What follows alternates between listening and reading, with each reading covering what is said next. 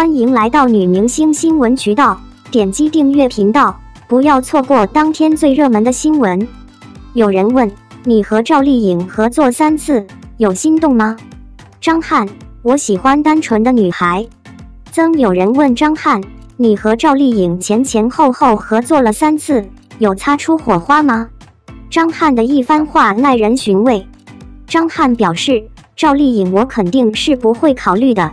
我还是更加喜欢单纯、可爱、善良、简单的小女孩。或许很多人都不知道，赵丽颖曾与张翰、郭富城合作过一部谍战片，名叫《密战》。电影《密战》主演讲述的是淞沪会战后上海沦陷，郭富城饰演的林翔为了重建地下抗日组织，偶然与赵丽颖饰演的兰芳相遇。为了躲避敌人的追查，两人开始假扮夫妻。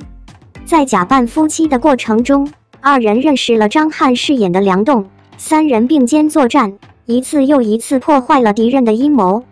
原来圆脸不仅能当女主角，还能演谍战片。赵丽颖曾说：“不要总帮我撰写悲惨故事、立奇怪的人设，我努力我该努力的，当然也享受我该享受的。”不得不说，赵丽颖还真的是人间清醒。但对于赵丽颖出演谍战片，观众们还是持怀疑的态度。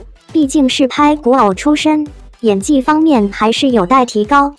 而由郭京飞、谭卓主演的谍战片《对手》之所以备受期待，其一就是这段时间悬疑剧太多，观众需要换换口味；其二当然是演员阵容强大。最后，小编想问大家，你们认为谍战片最重要的是什么？感谢您观看视频，请订阅该频道以支持我们。